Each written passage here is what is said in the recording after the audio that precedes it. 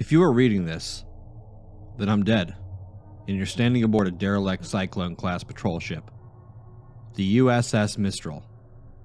With her engines dead and her electrical systems non functional, I am, was, the XO of this vessel, Lieutenant Commander Ryan Simmons. Please read this carefully. If you are an officer or an enlisted man in the United States Navy, this is an order. Scuttle this vessel, immediately. Do not finish this letter. Get off the Mistral at once and send her down. Consider this a quarantine scenario. All hands are likely dead. God help you if they are not.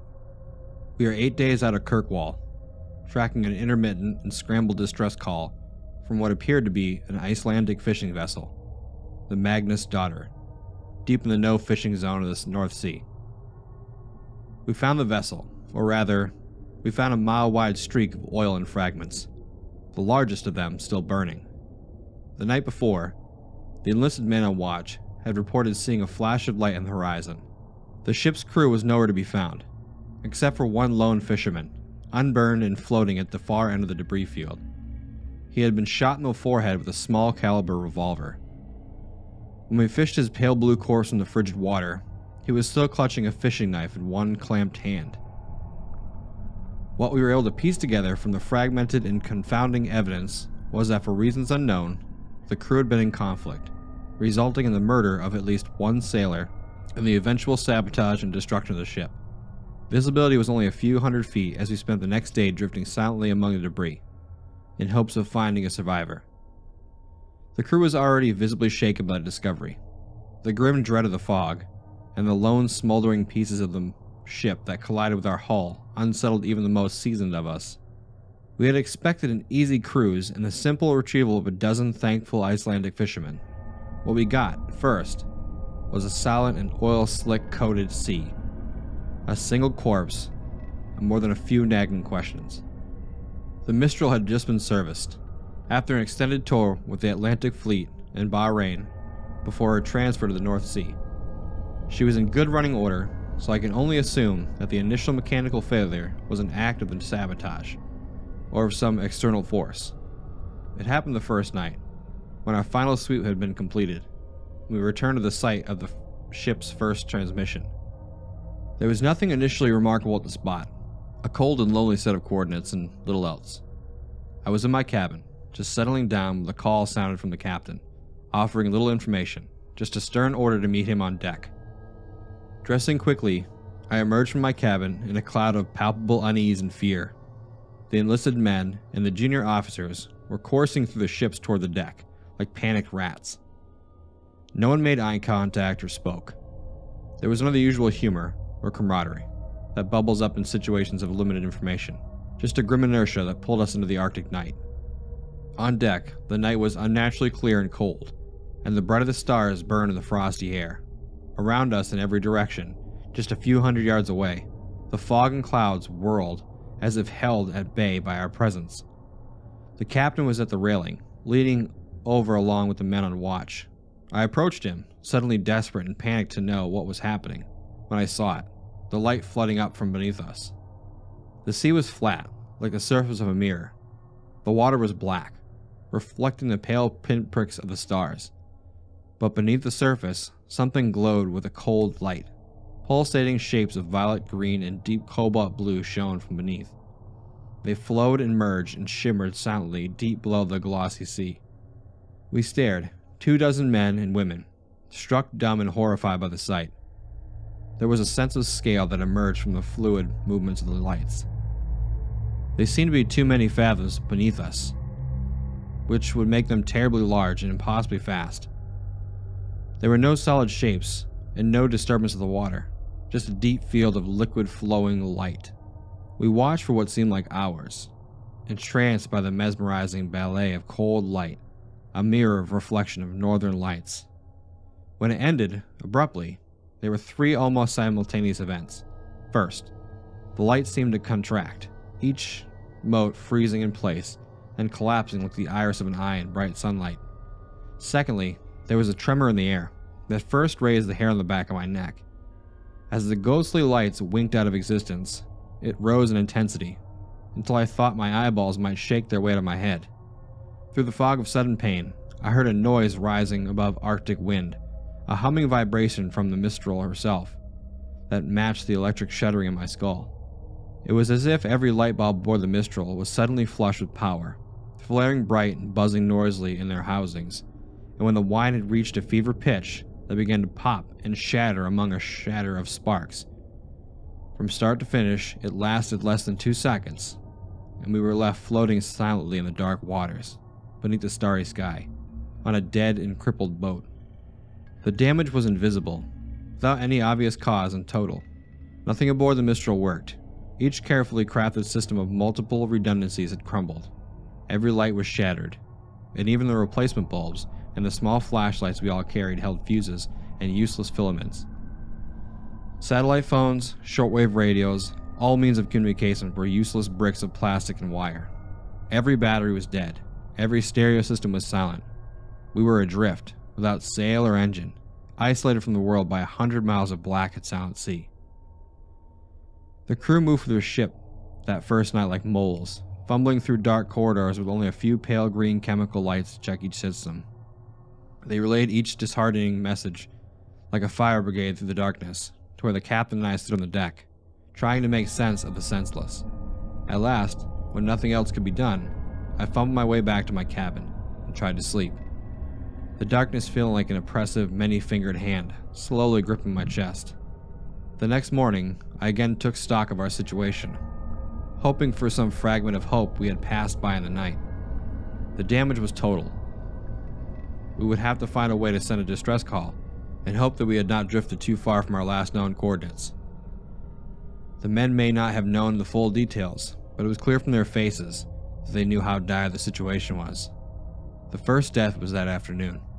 The sounds of screaming brought me above deck into a thick, heavy fog. High in the gloom, I could see bright, burning specks of light descending slowly. My stomach turned. It was two signal flares drifting uselessly through the haze. Some damn fool had fired these signal flares. I burned with unfamiliar and foreign rage and rushed through the fog to the foredeck with hatred in my blood and my fists clamped tight. The scene that emerged from the fog broke me from my stupor. The enlisted man, a flare gun still in his hand, lay broken in a pool of blood. The captain stood over him, clutching the railing driving the heel of his boot repeatedly in the broken mess of the boy's skull. I realized then that the screaming I heard, the high keening wail, was coming from the captain, his face in a rictus of animal rage. Around them was a small crowd, standing motionless and silent, watching like sentinels.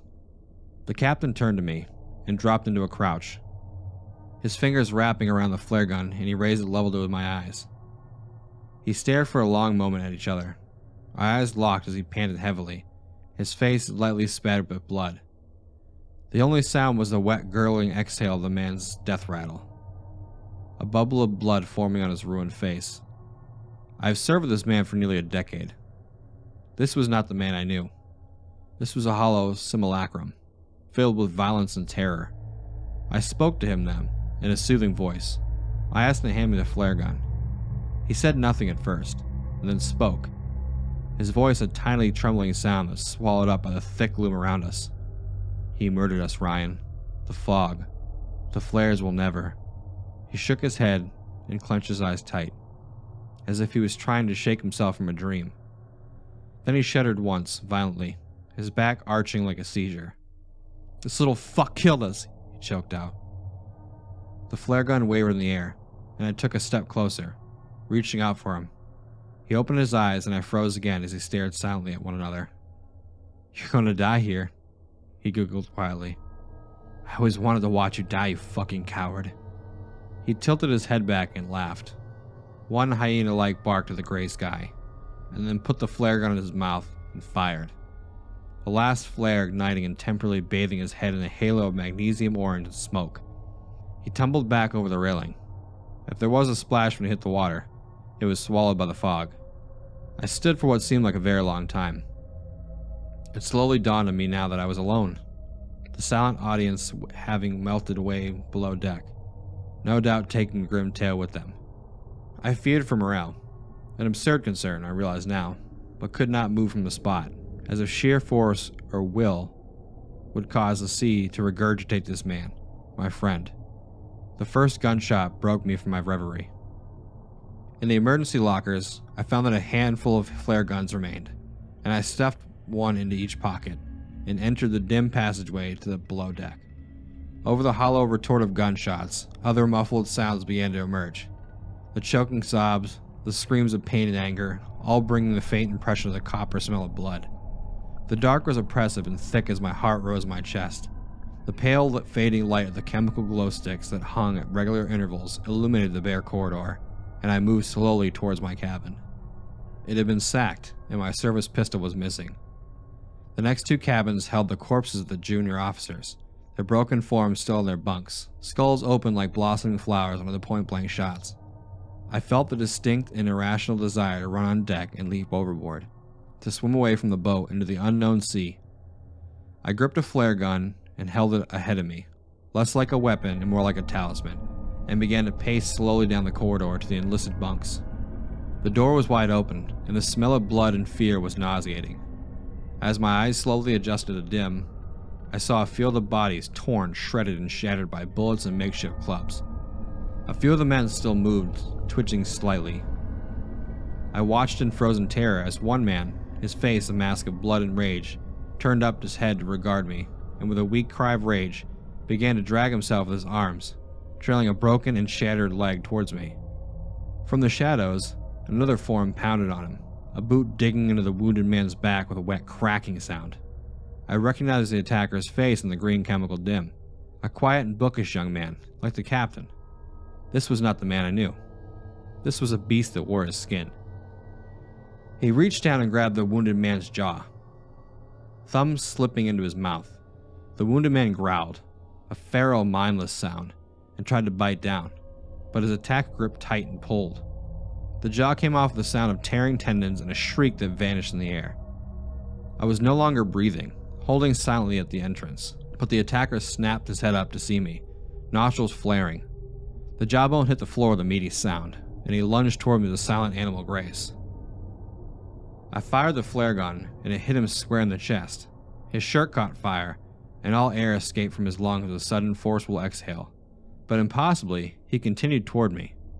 As I passed through the portal and slammed the door, the fire had climbed into his hair, and he was squealing now, his clawed hands still outstretched toward me.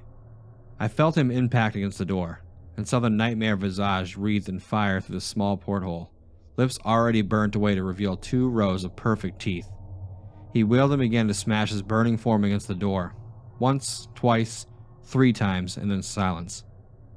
I raised my eyes to the porthole and saw only the faint image of the burning shape as it disappeared into the darkness. All conscious thought evaporated, and I fled from the charnel house. I have barricaded all entrances to the below deck now, and have doomed myself to the slow death of the enveloping cold. I can still hear the living ones down there, screaming and banging on the doors. They are not the men I knew. I console myself with this thought, as I leave them in the dark to starve or murder each other. If you have read this far and have fled these waters, or God forbid, are still aboard the Mistral, then I beg you again, Leave now while you can. Do not look below deck. There are none of us left to save, and certainly none worth saving. It's cold now, and the fading day surrounding the worn gray light of the dark. There are no stars this night, nothing but the heavy blanket of night. If I could get below, I would find some way of destroying the Mistral, like the brave men of the Magnus daughter. But it's too late, the most I can make of my last moments. As all feelings flee my extremities, and writing becomes impossible is a warning. Please, send us into the deep. Tell no one you found us and never return. There are things and primal desires older than man, and forces beyond the grasp of our simple minds, and they dwell here, beneath the frozen sea.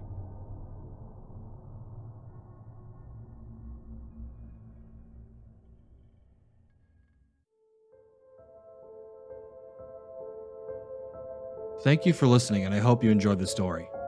Big thank you to the author for creating such an interesting and genuinely creepy experience. If you enjoyed the video, please subscribe or follow for more videos just like this one. If you'd like to support the channel, you can check out my Patreon link in the description below and know that I genuinely appreciate it. Follow me over on Twitter at podcast underscore fear or Facebook at fear the podcast. Thank you again for listening to the story, and until next time, always remember to face your fears.